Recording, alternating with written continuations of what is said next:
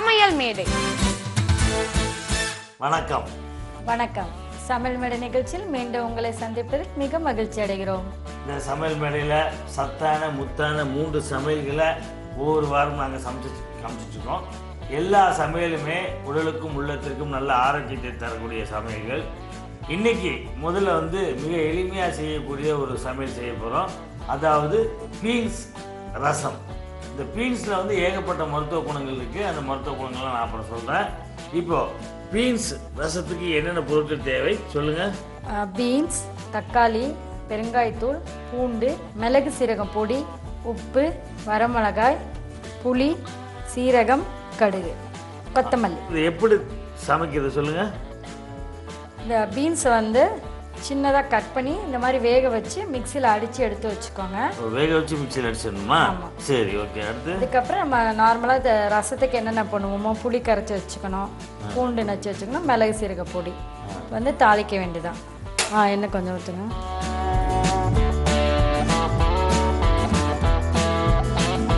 கொஞ்சம் தண்ணி இதில். பீன்ஸ் வந்து ஒரு அற்புதமான மருத்துவ குணமுடைய இது வந்து பார்த்தீங்கன்னா நுரையீரல் பாதிப்புகளை தடுக்கக்கூடியது இந்த பீன்ஸ். அதே வந்து பார்த்தி அதே மாதிரி பார்த்தீங்கன்னா கேன்சர் அதாவது புற்றுநோய் தாக்கத்தை வந்து குறைக்கக்கூடியது புற்றுநோய் செல்களையும் அழிக்கக்கூடியது. இப்போ புளி கரைச்சாச்சு. இப்போ தக்காளி அடித்து வச்சுருக்கேன் நான் மிக்சியில். இதையும் இதில் கரைக்கணும். இப்போ கொஞ்சம் பெருங்காயத்தூள் இதில். அப்புறம் உப்பு. மிளகு சீரக பொடி பூண்டு நச்ச பூண்டு எல்லாத்தையும் போட்டு நல்லா கரைச்சிக்கணும்.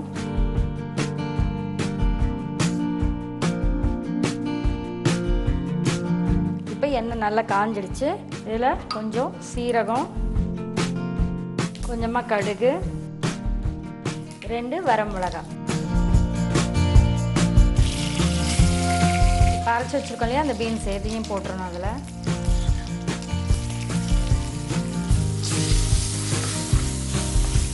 பீன்ஸ் வந்து ரத்தத்தில் இருக்கிற கெட்ட கொழுப்புகள் எல்லாம் கரைத்து ரத்தத்தை சுத்தப்படுத்தி ரத்த ஓட்டத்தை சீராக்கக்கூடிய மருத்துவ குணம் அதில் இருக்குது அது போல இதயத்தையும் பாதுகாக்கக்கூடிய தன்மை அதில் இருக்குது இந்த பீன்ஸில் நிறைய நார்ச்சத்துக்கள் இருக்கிறதுனால மலச்சிக்கல் உருவாகாமல் தடுக்குது. இப்போ இது கொஞ்சம் வதங்கிடுச்சு. ஏற்கனவே வெந்தது. அதனால நல்லா வதங்கிடுச்சு. இப்போ கரைச்சி வச்சிருக்க இந்த தக்காளியை அதில் ஊற்றுறோம் புளி தக்காளி எல்லாம் இல்லை. பசங்க வந்து பீன்ஸ் எல்லாம் சாப்பிட மாட்டாங்க. இந்த மாதிரி பண்ணி கொடுத்தோன்னா ரசத்தில் இருந்தோம்னா அவங்களுக்கு தெரியாது.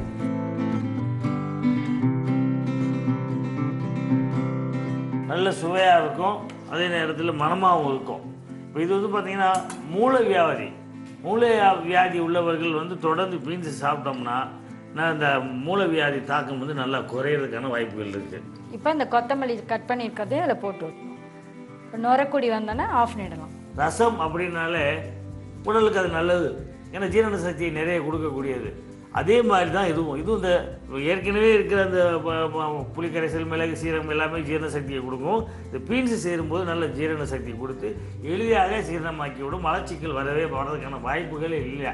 இன்றைக்கி வந்து பார்த்தீங்கன்னா உடல் சூடு ச அங்கங்கே ஓடுறது ஒளிய ஒடியாறது இல்லை ஒரே இடத்துல இருந்துட்டு வேலை பார்க்குறதுனால எல்லாருக்குமே பார்த்தீங்கன்னா மலச்சிக்கல் இருக்குது மலச்சிக்கல் பெரும்பாலும் வந்து இப்போ நிறைய பேருக்கு மலச்சிக்கல் உருவாகிட்டு இருக்குது அந்த மலச்சிக்கலை தடுக்கணும் அப்படின்னா இந்த மாதிரி விஷயங்கள். அதாவது நார்ச்சத்துக்கள் நிறைந்த உணவை நம்ம உணவு உணவை வந்து சேர்த்துக்கணும் சாப்பாட்டில். அப்படி சேர்த்துக்கும் போது நமக்கு மலச்சிக்கல் வராது. இன்றைக்கி மன அழுத்தம் பல பிரச்சனைகள் எல்லாத்துக்குமே காரணம் முக்கியமாக மன இது மலச்சிக்கல் தான். மலச்சிக்கல் இல்லைன்னா எந்த சிக்கலுமே இல்லை.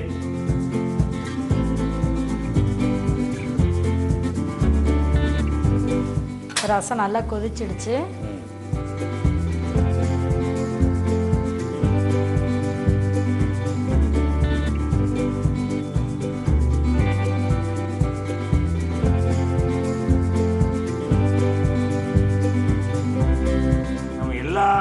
ரசங்களுமே வச்சு சாப்பிடுவோம். இந்த மாதிரி ஒவ்வொரு காய்கறிகள் ஒரு ரசத்தில் பெருசாக பீன்ஸில் வந்து ஒரு அதிகபட்சம் ஒரு பத்து பீன்ஸ் போட்டிருப்பீங்கன்னா பத்து பீன்ஸ் அந்த மிக்சியில் போட்டு அடிக்கும்போது அதில் இருக்கிற மருத்துவம் நம்ம ஒரே வேலை ரசமும் சாப்பிட்றோம் பீன்ஸையும் சாப்பிட்றோம். இதே மாதிரி குழந்தைங்களுக்கு அதை கொடுத்துடலாம். ரசம் சாப்பாடுன்னு சொல்லி கொடுத்து விட்டுடலாம்.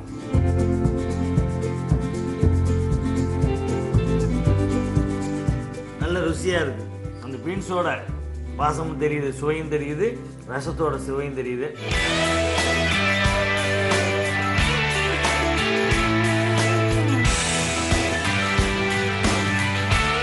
பீன்ஸ் ரசம் எப்படி செய்யுது சொல்லுங்கள் பீன்ஸை வந்து சின்னதாக கட் பண்ணி நல்லா வேக வச்சு மிக்சியில் அரைச்சி எடுத்து வச்சுக்கோங்க. ஒரு சின்ன கடாயில் கொஞ்சமாக எண்ணெய் ஊற்றி கடுகு சீரகம் வரமிளகாய் போட்டுட்டு இந்த பீன்ஸையும் அரைச்ச பீன்ஸையும் போட்டு நல்லா வதக்குங்க. அதுக்குள்ளே இந்த ஒரு பவுலில் புளி கரைச்சது தக்காளி பூண்டு பெருங்காயத்தூள் உப்பு எல்லாம் போட்டு நல்லா கரைச்சிட்டு வதங்கின பீன்ஸில் இந்த கரைச்ச தக்காளி அதில் ஊற்றி ஒரு அஞ்சு நிமிஷம் கொதிக்க வச்சு எடுத்தீங்கன்னா பீன்ஸ் ரசம் தயார். இப்போ சமையல் முறையில் அற்புதமான விஷயம் பீன்ஸு ரசம் செஞ்சு அனுப்பிச்சிட்டோம்.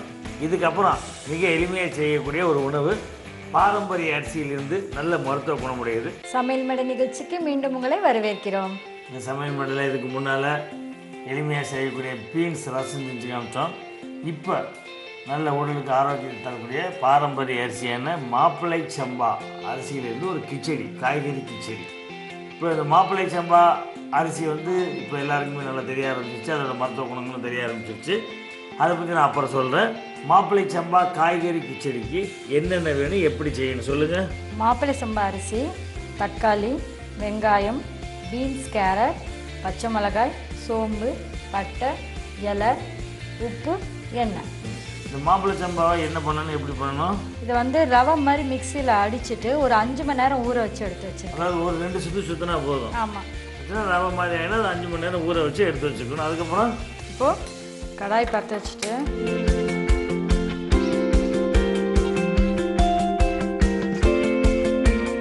மாப்பிள்ளை சம்பா அரிசியில் நிறைய மருத்துவ குணங்கள் இருக்குது உடலுக்கு நல்ல பலத்தை தரக்கூடியது.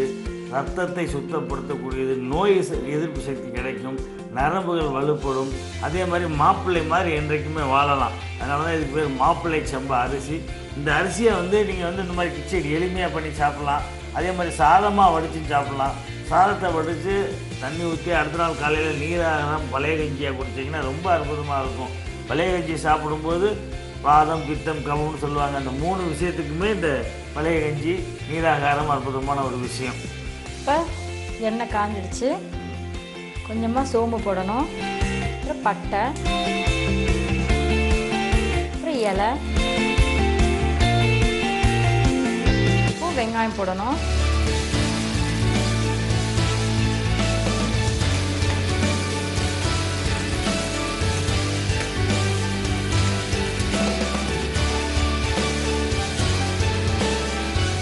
இப்போ பச்சை மிளகாய் போடணும்.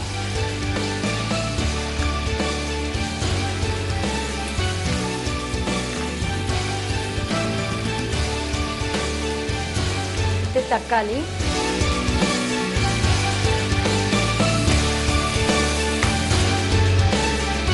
இந்த மாப்பிள்ளை செம்பாவில் வந்து காய்கறி கேரட்டு பீன்ஸ் கலந்து கொடுக்கும்போது குழந்தைகள் நல்லா விரும்பி சாப்பிடுவாங்க.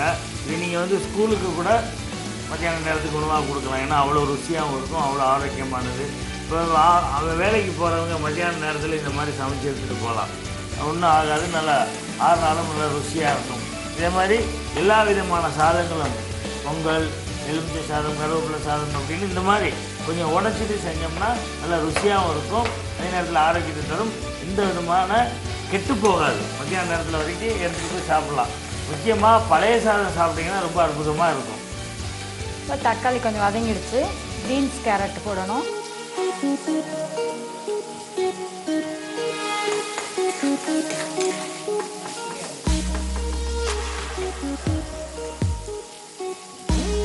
கொஞ்சம் உப்பு.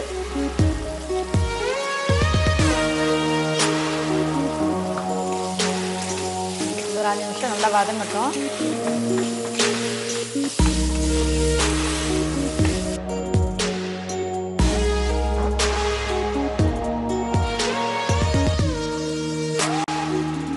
இப்போ பீன்ஸும் கேரட்டும் ஒரு பாதி அளவு நல்லா வெந்துடுச்சு. இப்போ கொஞ்சம் தண்ணி ஊற்றி கொதிக்க விடணும்.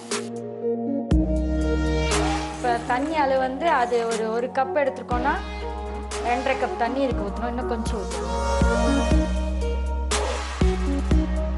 ரெண்டரை கப் தண்ணி. ஒரு கப் அரிசிக்கு ரெண்டரை கப் தண்ணி ஊற்றுனீங்கன்னா நல்லா வேகும். இப்போ நல்லா இது கொதிக்கட்டும். நல்லா கொதிச்சிடுச்சு. இப்போ இந்த மாப்பிள்ளை சம்பா அரிசியை இதில் போடணும்.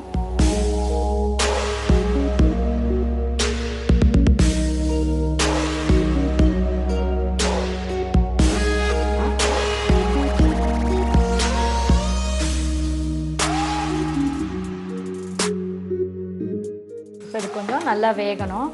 இந்த ரவை உப்புமா பண்ணுறதுக்கு பதில் ரவை கிச்சடி பண்ணுறதுக்கு பதில் இந்த மாதிரி பண்ணலாம். இந்த மா- மாப்பிள்ளை சம்பா கருங்குருவை காட்டையானம் பூங்கார் புளியடிச்சான் குள்ளக்கார் கவுனி அரிசி அப்படி இந்த தங்கர் சம்பா எந்த அரிசியை எடுத்தீங்கனாலும் இதே பக்குவத்தில் நம்ம சமைக்கலாம். நல்ல ருசியாகவும் இருக்கும் அதே நேரத்தில் ஆரோக்கியமாகவும் இருக்கும்.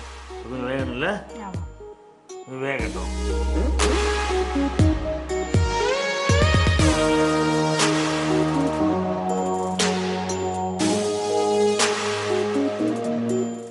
வெந்துடுச்சு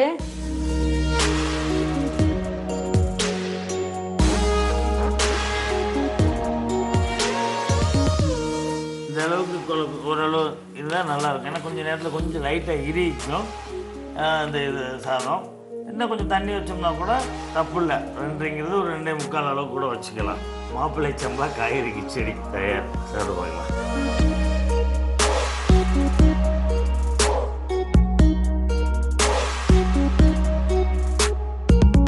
நல்ல ருசியாகவும் இருக்குது அதே நேரத்தில் இந்த காய்கறிகளோடு சேர்ந்து சாப்பிடும்போது பீன்ஸு கேரட்டு இந்த அரிசியோட சுவை வந்து இன்னும் சாப்பிட தூண்டுது. அதாவது முன்னெல்லாம் பார்த்திங்கன்னா குழந்தைங்களுக்கு வாழைப்பழத்தில் வந்து மருந்துகளை வச்சு கொடுத்து விட்ருவாங்க வேப்பனை தடவி கொடுப்பாங்க. அது மாதிரி குழந்தைங்களை நம்ம ஆரோக்கியமாக வளர்க்கணும்னா இந்த மாதிரி ஏதாவது சமைச்சு கொடுத்தோம்னா தான் அவங்கள ஆரோக்கியமாக வளர்க்க முடியும்.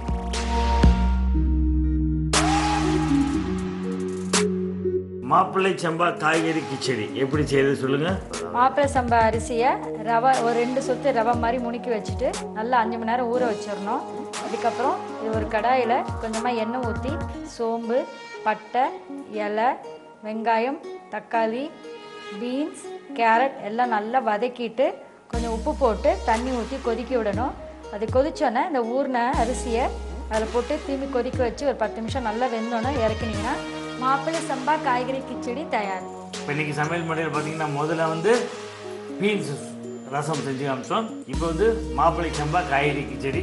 இதுக்கப்புறம் மிக எளிமையாக செய்யக்கூடிய ஒரு உணவு செய்ய போகிறோம் மீண்டும் உங்களை வரவேற்கிறோம். இந்த சமையல் முறையில் முதல்ல வந்து பார்த்தீங்கன்னா பீன்ஸ் ரசம் செஞ்சு காமிச்சோம். அதுக்கப்புறம் வந்து பார்த்தீங்கன்னா மாப்பிள்ளை சம்பா காய்கறி கிச்சடி செஞ்சு காமிச்சோம். இப்போ மிக எளிமையாக செய்யக்கூடிய ஒரு உணவு மாலை நேரத்தில் குழந்தைங்களுக்கும் பெரியவங்களும் வீட்டில் இருக்கிறவங்களும் எல்லாம் ருசித்து சாப்பிட்லாம். அதே நேரத்தில் ஆரோக்கியமானது. அதாவது சாமை தேங்காய் குழிப்பணியாரம். சாமை அரிசியில் தேங்காய் பூ கலந்து ஒரு குழிப்பணியாரம் செய்கிறது ரொம்ப ருசியாகவும் இருக்கும். அதே நேரத்தில் ரொம்ப எளிமையாகவும் செய்யலாம்.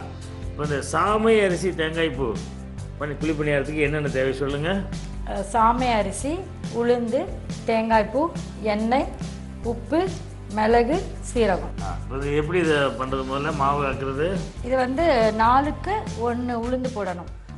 நாளுக்கு ஒன்று உளுந்து போட்டு ஊற வச்சு ஆட்டி எடுத்துட்டிங்கன்னா அது இட்லி தோசை நம்ம சுட்டுக்கலாம். இந்த அந்த அந்த- மாவு பதத்துக்கு இந்த மாதிரி சுட்டுக்கலாம். திக்கா எடுத்துக்கணும். இந்த மாதிரி எடுத்துக்கலாம். இந்த மாவில் வீட்டில் இருக்கிற இட்லி தோசை மாவில் தேங்காய் பூ சேர்த்து சில ஐட்டங்களை சேர்த்து நீங்கள் குழிப்பணியாரம் ஊற்றுனீங்கன்னா ருசியாகவும் இருக்கும். நீங்கள் இதுக்குன்னு தனியாக மெனக்கிட வேண்டாம். இந்த குழிப்பணியாரத்துக்கு மாவு அரைக்க வேண்டிய அவசியம் இல்லை.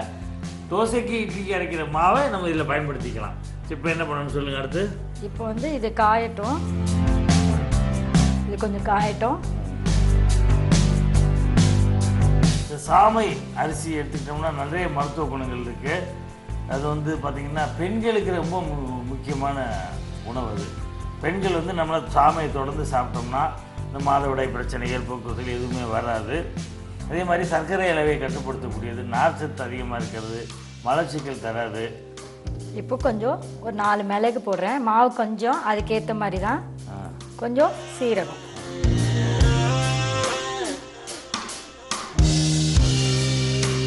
இது வந்து உப்பெல்லாம் போட வேண்டாம். ஏன்னா மாவில் உப்பு இருக்கும். அதெல்லாம் உப்பெல்லாம் வேண்டாம். இப்போ இந்த மிளகு சீரகத்தை கலக்கிட்டு தேங்காய் பூவை என்ன பண்ணிடு? தேங்காய் சில்லு சில்லாக கட் பண்ணி மிக்சியில் ஒரு ஓட்டு ஓட்டி ஓட்டிடணும். நைஸாக இருக்கக்கூடாது இந்த மாதிரி இருக்கும் உறுதியாக இருக்கணும்.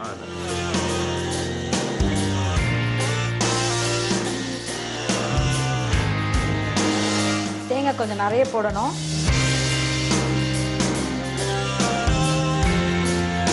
இப்போ இது ரெடி பண்ணியாச்சு. இதை கொஞ்சம் எண்ணெய் ஊற்றணும்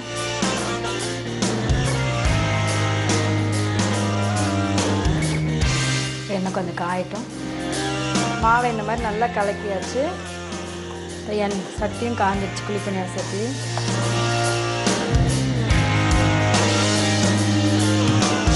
இந்த சாமை அரிசியோட தேங்காய் சேர்ந்து வரும்போது ரொம்ப சுவையாக இருக்கும். பசங்க விரும்பி சாப்பிடுவாங்க. நாமளும் நல்லா ருசியாக சாப்பிடலாம். அதே நேரத்தில் ஆரோக்கியமாகவும் இருக்கும். இது நம்ம வந்து இட்லி தோசைக்கு இந்த சாமை அரிசி வந்து அரைச்சி வச்சுக்கிட்டோம்னு வச்சுக்கோங்க. அவசரத்துக்கு இந்த மாதிரி பண்ணிக்கலாம். சப்போஸ் சிறுதானியங்கள் நீங்கள் வந்து பயன்படுத்தலை இல்லை இப்போ இட்லி அரிசி தான் பயன்படுத்துகிறோம்னா அந்த இட்லி அரிசிலையும் இந்த மாதிரி பண்ணலாம் நாம்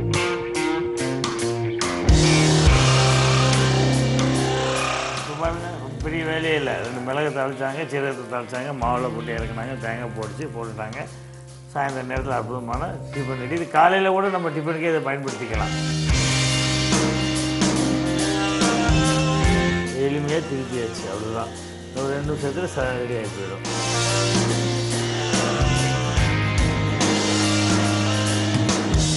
கொஞ்சம் அடக்கி வைக்கணும். இதுக்கு முன்னால் நம்ம செஞ்ச பார்த்தீங்களா மாப்பிள்ளை சம்பா? அந்த அரிசியவும் நம்ம இட்லி தோசைக்கு பயன்படுத்தலாம். அதே நாளுக்கு ஒன்று தான் உளுந்து போட்டு ஊற வச்சு அரைச்சி வச்சுக்கிட்டோம்னா இட்லி தோசை சாப்பிடலாம். அதே மாதிரி அந்த அரிசியிலையும் இந்த மாதிரி புளியப்பணியாரம் நம்ம பண்ணலாம். தேங்காய் பூ போட்டு பண்ணோம்னா ரொம்ப ருசியாக இருக்கும். ரொம்ப நல்ல நல்லது. பொதுவாக வீட்டில் சிறுதானியங்கள் பாரம்பரிய அரிசிகள் இந்த உடலுக்கு ஆரோக்கியத்தை தரக்கூடிய காய்கறிகள் கீரைகள் நாம் சாப்பிட்டுட்டே வந்தோம்னா நம்ம இயற்கையாகவே நோய் எதிர்ப்பு சக்தி நிறைய கிடைச்சிடும் அதை விட்டுட்டு நாம் அந்த ரசாயன கலவைகள் கிடந்த உணவுகளை நிறைய சாப்பிடும்போது தான் நம்ம வந்து சக்தி நமக்கு குறைஞ்சி போயிடுது. முக்கியமாக மைதா. பரோட்டா. பரோட்டா மை- மைதா சம்மந்தப்பட்ட விஷயங்களை தொடாதீங்க. கேக்கு பப்ஸு இந்த மாதிரி விஷயங்கள் சாப்பிடாம இந்த மாதிரி பண்ணி கொடுத்தோம்னா ஆரோக்கியமாகவும் இருக்கும் உடம்புக்கு நல்ல ருசியாகவும் இருக்கும் விலை விலையும் ரொம்ப குறைவாக இருக்கும்.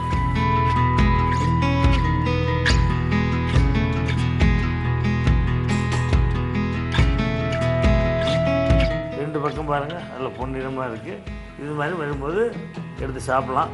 இது வந்து நம்ம சும்மாவே சாப்பிட்லாம். ஏன்னா தேங்காய் பொறுக்கிறதுனால உங்களுக்கு தேவை அப்படின்னா கொஞ்சம் இல்லை வரமிளகாய் சட்னி வச்சுக்கலாம். இல்லையா நாட்டு சர்க்கரையை தொட்டு நீங்கள் சாப்பிட்லாம்.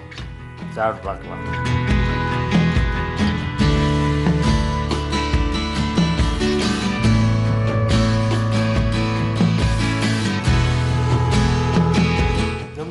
அருமையாக இருக்குது இந்த மாதிரி குழந்தைங்களுக்கு நீங்கள் வீட்டில் சமைச்சு கொடுத்தீங்கன்னா எந்த குழந்தைகளுக்குமே நோய் நொடி வராது.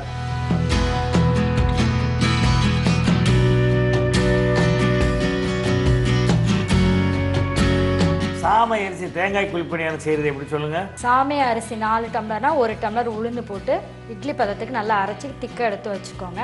ஒரு தேங்காவை மிக்சியில் நல்லா அடிச்சிட்டு அதை நைஸாக இருக்கக்கூடாது நல்லா அடிச்சிட்டு மிளகு சீரகத்தை ஒரு கடாயில் கொஞ்சமாக எண்ணெய் ஊற்றி சீரகம் மிளகு அதில் தாளித்து அந்த மாவில் ஊற்றிட்டு இந்த தேங்காய் அரைச்சதும் ஊற்றி கிளறி குழிப்பணியார சட்டியை காய வச்சு எண்ணெய் ஊற்றி ஊற்றி எடுத்தீங்கன்னா சாமாய் தேங்காய் குழிப்பணியாரம் தயார். இன்னைக்கு சமையல் மேடையில் அற்புதமான மூன்று சமையல்கள் உடலுக்கும் உள்ளத்திற்கும் ஆரோக்கியத்தை தரக்கூடிய மூன்று சமையல்கள் நாங்கள் சமைச்சு காமிச்சோம்.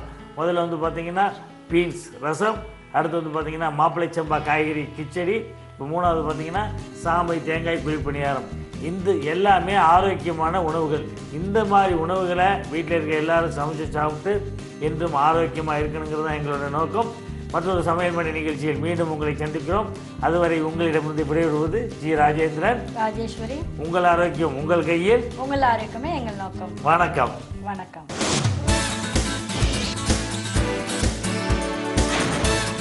சமையல் மேடை.